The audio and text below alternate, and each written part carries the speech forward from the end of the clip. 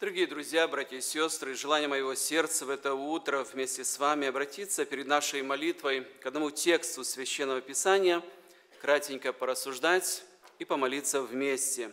Текст Писания записан в послании к евреям, 6 глава, 10 стих, 10 стиха. «Ибо не неправеден Бог, чтобы забыл дело ваше и труд любви, которую вы оказали во имя Его, послужив и служа святым.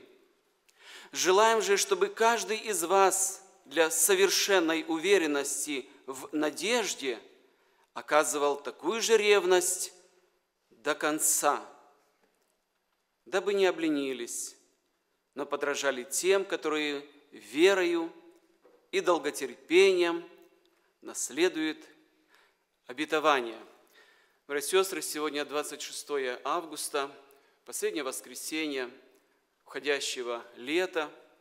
Через несколько недель мы будем отмечать в нашей церкви праздник жатвы, на который будем рассуждать, благодарить об этом празднике, вкладывая не только смысл благодарения, но более глубокий смысл, подводя итог, может быть, и нашей жизни – но вы знаете, сегодня мне бы хотелось, братья и сестры, обратиться к такой важной теме, практической теме. Труды служения святым в поместной церкви, труды служения в церкви. Вы знаете, Господь так устроил поместную церковь, что она нуждается в служении. Согласны? И в этом служении должны участвовать абсолютно все – Абсолютно все, потому что Господь каждого призвал к служению, наделил определенным даром. Знаете, как-то анализирую даже вот последние вот эти 8 месяцев уходящего как бы года, 8 месяцев прошло, сколько было труда совершено в нашей церкви. Я не хочу составлять какой-то перечень, список, но как-то рассуждал, думаю, три лагеря у нас прошло. Нужно было организовать эти лагеря. Нужно находиться было там, кто-то готовил духовную пищу, кто-то готовил физическую пищу, кто-то отдыхал, а кто-то не отдыхал для того, чтобы дети наши спокойно отдыхали. И это был труд, это было время, это было средства. Была совершена прекрасная, Господь благословил поездку миссионерскую в Молдову. Для этого тоже необходимо было посвятить свое время, средства – следующую субботу, братья и сестры, в этом зале будет очень много молодежи. И для того, чтобы конференция состоялась, братья и сестры, чтобы Господь благословил, необходимо участие и труд святых Его. И абсолютно каждого человека, братья и сестры. Кто-то будет духовную пищу готовить, и сейчас уже готовится.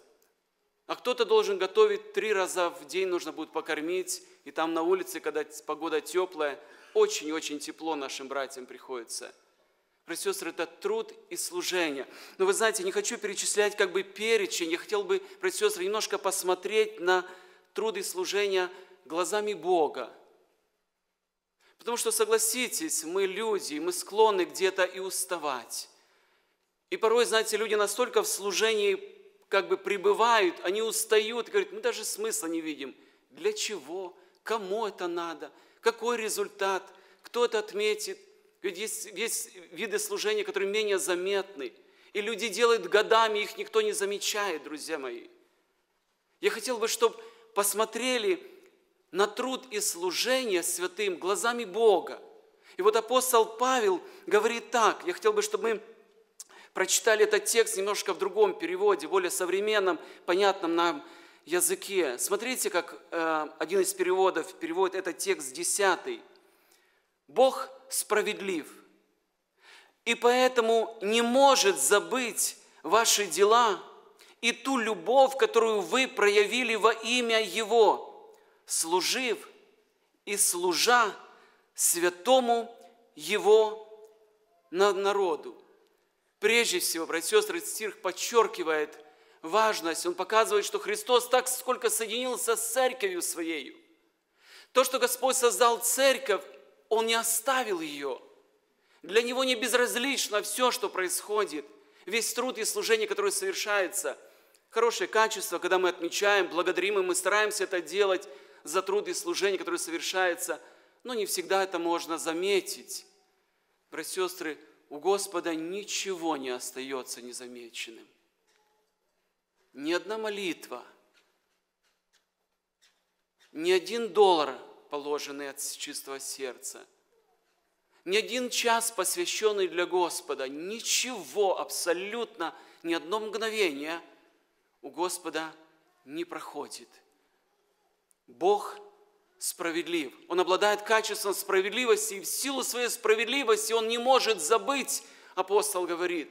Он не может забыть, это его качество. И вот обратите внимание, как здесь написано, что Бог справедлив, поэтому не может забыть ваши дела и ту любовь, которую проявили во имя Его. В синодальном переводе написано «дело ваше и труд любви», братья и сестры. Бог называет это трудом не просто так. К труду по-разному относятся люди. Есть люди, которые делают свою работу, потому что вынуждены делать. Они вынуждены ходить на эту работу, чтобы как-то содержать семью. Но когда говоришь, я не люблю свою работу, но есть люди, которые любят свою работу, не вкладывают свою душу, сердце, они готовы находиться там и делать это действительно, как мы говорим, от души человек работает. Братья и сестры, вот так Священное Писание показывает, говорит, что труд не просто труд. Знаете, есть понятие такой рабский труд, то есть он неблагодарный какой-то труд, не оценен, и человек просто вынужден, но здесь стоит слово труд любви. Смотрите, как апостол Павел в послании к Колосинам, 3 глава, 24-25 стихом говорит так, «И все, что делаете, делайте души, как для Господа, а не для человека». Братья и сестры, вся работа, которая совершается – для Господа. Бог говорит, все, что вы делаете одному из меньших сих, для кого вы делаете? То вы сделали для меня. Братья и сестры, мы должны мотивировать, мы должны ясно видеть и труд, и служение. Общаясь с некоторыми братьями-служителями, они откровенно признаются, не знаем, что происходит. Порой трудно найти людей для какого-то служения. Нету кому заниматься с детьми. Нету средств для того, чтобы было погасить долги или какие-то, может быть, текущие белы в церкви.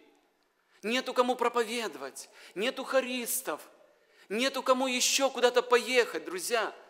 Я думаю, почему так? Что люди не понимают воспринимают вот этот как рабский труд для Бога. Вот опять нужно идти, вот опять нужно жертвовать, вот опять какие-то нужды братья объявляют, вот опять нужно, братья сестры. Обратите внимание – мы служим не людям, не человекам. Апостол Павел говорит, Бог, Он справедлив. Не неправеден Бог, чтобы забыл дело ваше и труд любви, которую вы оказали во имя Его, послужив и служа святым Его. Бог не забыл дело и труд любви. А когда же Он вспомнит? Когда же это наступит, этот момент, о котором мы говорим, о том, что он не забыл, и он вспомнит, и он все это отметит?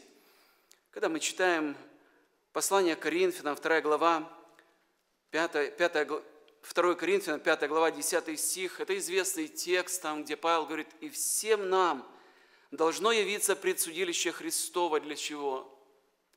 Чтобы каждому получить Братья и сестры, вот ясная цель, вот эта встреча, которая произойдет, когда Господь возьмет свою церковь, это называется судилище Христово, возьмет от этой земли, друзья мои. И прежде чем начнется брак акция, торжество, день, который придет, который мы пели сегодня в начале собрания, называется это судилище Христово, суд, где Господь будет сгорать не наши, братья и сестры, грехи, грехи уже прощенные – а будут сгорать дела, которые были сделаны не во имя Господа, и которые были сделаны не с любовью. Помните, там, где Павел говорит, упоминает и золото, и серебро, и драгоценные камни, упоминает и другой материал, сено, солома, ибо в огне открывается, ибо огонь испытает дело каждого. Друзья мои, это реальность, это то, что произойдет, я верю. там написано, чтобы каждому получить соответственно тому, что он делал, живя в теле. И если, слава Богу, добрые, друзья мои, и вот есть возможность, мы говорим о добром, хотя там и стоит и дальше, или худое, неправильное. Бог вознаградит за все. Бог будет вознаграждать, братья и сестры, за усердие. Текст Писания, послание Ефесянам, 6 глава, 7-8 стих написано так. «Служа с усердием, как Господу, а не как человеком, зная, что каждый получит от Господа по мере добра, которое Он сделал». Какое прекрасное качество усердие. Говорит, этот человек очень усердный, он старательный. Если ему поручить, он сделает, доведет до конца. На него можно положиться, попросить его, знать, этот человек делает с усердием. Обратите внимание, Бог будет вознаграждать не просто так, спасибо вам. Абсолютно не так у Бога, братья и сестры. Подмечено будет абсолютно все, и вот эти тексты Писания, которые мы сейчас прочитаем с вами, они подмечают за награду. Награда – это что-то особенное, что-то реально. От Господа получит человек по мере добра, которое он сделал за свое усердие. Второе, Бог вознаградит за ревность. Есть прекрасное качество, человек говорит, это человек ревностный. Ревностный в том смысле, что он делает постоянством, несмотря ни на что. Я вспоминаю свидетельство одного брата-проповедника, который приводил такой пример за одну старицу, которая имела слабые, больные ноги. У нее такая была ревность по Дому Господнему. Она так любила Дом Божий, Церковь Божию, собрание. И она всегда ходила, вы слышали, наверное, тоже этот пример. Она всегда, идет ли снег, ли дождь, она всегда не на автобусе, друзья мои, а своими больными ногами с двумя палочками. И вы знаете, весь этот ее маршрут – вот эту ревность наблюдала ее соседка, женщина в окно. И когда-то соседка пришла в собрание, потому что, говорит, смотрю, дождь идет, а моя соседка с палочками идет. Грязь ли? Она идет. Снег ли? Она идет. И Бог вложил вопрос, а почему она идет? Что ее влечет туда? И она тоже пришла я дала свое сердце Господу. И апостол Павел, посланник Титу, говорит, что Бог создал себе народ особенный, очистить народ особенный, ревностный к добрым делам. Братья сестры, как хорошо, когда есть ревность, и она направленная на добрые дела. Бог вознаградит за ревность. Братья сестры, Бог вознаградит за терпение. Мы прочитали с вами послании к евреям, 10 глава, 36 стихе написано так, «Терпение нужно вам, чтобы, исполнив волю Божию, получить обещанное». Друзья, для служения, для труда, который мы совершаем в церкви, необходимо терпение. Терпение нужно преподавателям в русской школе, в воскресной школе. Терпение необходимо родителям, воспитание деток – Терпение необходимо всем. И вот Павел говорит, что терпение нужно, чтобы вот исполнить волю Божию, чтобы дойти до конца. И стоит слово «получить». Получить обещанное, которое Господь обещал. Бог вознаградит за терпение. Бог вознаградит справедливо. В послании Коринфянам, во втором послании Коринфянам, 9 глава, в 6 стихе написано, «При всем скажу, кто сеет скупо, тот скупо и пожнет. А кто сеет щедро, тот щедро и пожнет. Братья сестры, это тоже важное служение. Оно не только касается материального служения. Сеять можно щедро во всем. Во многих вопросах служения, братья сестры, можно делать это от души, щедро. Бог вознаградит по своей благодати – Послание к Евангелию от Луки, 6 глава, 38 стихе, слова Господа Иисуса Христа записаны так.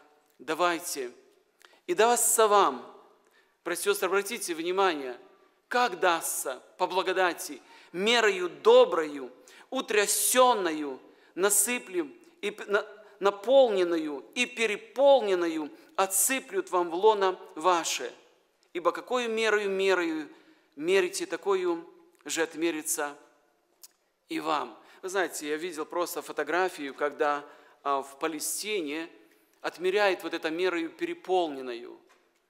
Какая-то емкость, знаете, какая-то емкость, которая насыпает, ну, в общем-то, она должна быть полной, говорит, дайте вот обильно, да, вот переполненную. Но у нас сфотографирована эта, эта фотография таким образом, что вот высыпали порой, может, зерно или еще что-то, и вот оно уже пересыпается сверху, уже настолько наполнено, оно сыпется сверху. Вот так вот по благодати Бог даст, говорит, давайте дастся вам меры добрые, утрясенную, нагнетенную, переполненную, отсыплют вам в лоно ваше. Ну там есть и условия свое. Какую мерою мерите, такое же отмерится и вам. Братья и сестры, это касается многих-многих сфер. Можно мерить, знаете, и в молитвенном служении, друзья мои. И в том служении, в котором Господь призвал. Можно, ну я все уже сделал. А можно мерить так, как написано, мерою доброю, утрясенные переполненные. Братья и сестры, почему мы сегодня говорим об этом? Потому что время, которое Господь отделяет для каждого из нас, оно ограничено, правда? Время для служения, оно ограничено. Если мы спросим, обратимся к нашим старичкам, те, которые прошли жизненный путь, те, которые сегодня уже сидят просто в молитвенном доме, они питаются Словом Божьим, они вспомните, как быстро прошло время.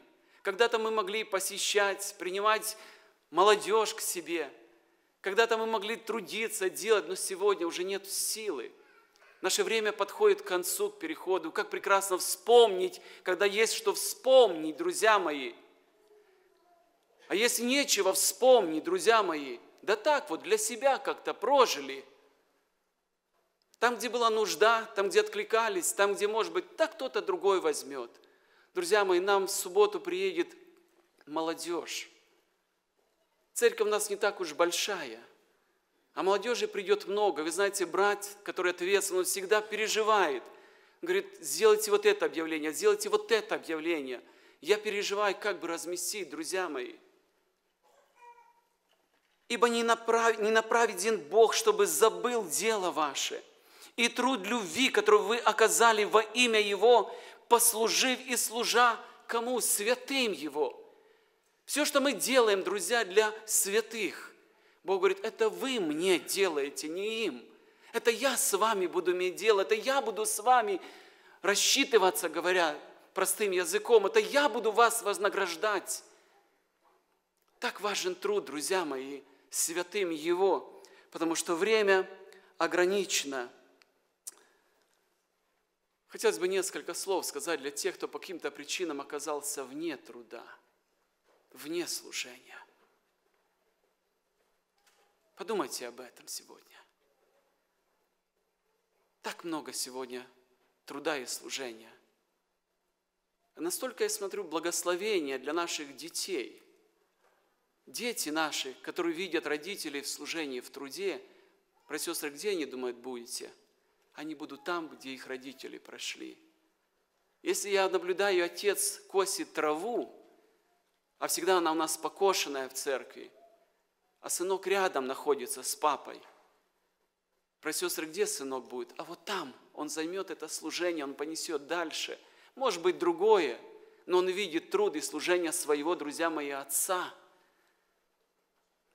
если родители благословляют детей на миссию и сами едут, друзья мои, где дети будут? Они пойдут по следам и своих деток поведут, друзья мои.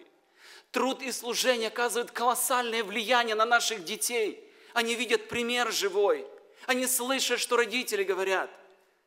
Давайте, давайте, в подвале надо убрать, гости придут. И там можно положить, и там можно положить. Да у нас нету места. Друзья мои, время ограниченное – время, оно уходит. Через труд мы оказываем практическое влияние, пример на этот мир. Это сильная проповедь, друзья мои. Всякий раз, когда наша молодежь бывает на миссии, друзья мои, Это прекрасное свидетельство общаться с людьми, и люди задают вопрос, почему вы это делаете? Почему вы преодолели десятки и сотни километров, прилетев сюда? Что вы, какая ваша цель? У нас единственная цель – донести весть о том, что есть Господь, есть любящий Господь, есть Христос. Это прекрасная возможность свидетельствовать людям. Дорогая церковь, братья и сестры, я хотел бы помолиться сейчас – поблагодарить Господа за то, что в доме нашем, я говорю о нашей поместной церкви, всегда находятся души и сердца, и добрые, отзывчивые, которые всегда откликаются. Была проведена огромная работа для того, чтобы убрать карпет в малом зале, в коридорах, постелить плитку. Слава Богу, сколько было братьев, сколько было сестер, которые готовили кушать, сколько было братьев, которые были, трудились здесь постоянно – Братья и сестры, Бог ничего не забудет. Жизнь продолжается наша, братья и сестры. Скоро начнется работа воскресная школа, русская школа. Мы будем обращаться, нужны будут учителя, преподаватели, для которых необходимо и терпение необходимо, и пожертвовать временем необходимо будет. Прийти сюда и подготовить библейский урок, и сделать его старательно, качественно, от души, как для Господа, друзья мои – Труд и служение любви, друзья, оно преображает церковь, изменяет сердца людей, сближает, делает церковь живой, потому что не делает это как для Господа. Поэтому пусть Господь нас благословит и ободрит. Есть возможность, друзья, присоединиться к служению и труду, самому посильному, самому простому, самому то, что Господь дает на сердце – и тогда, когда мы придем в вечность, мы сегодня пели прекрасный гимн, я верю, это прекрасная картина, когда церковь соберется вместе, и Господь будет давать награды, и Господь будет давать венцы, и Господь вспомнит абсолютно все. И та бедная вдова, которая положила все свои последние две лепты, все свое, она будет особо тоже отмечена, потому что отдала все, что у нее было – Пусть поможет и благословит нас Господь. Аминь. Давайте помолимся.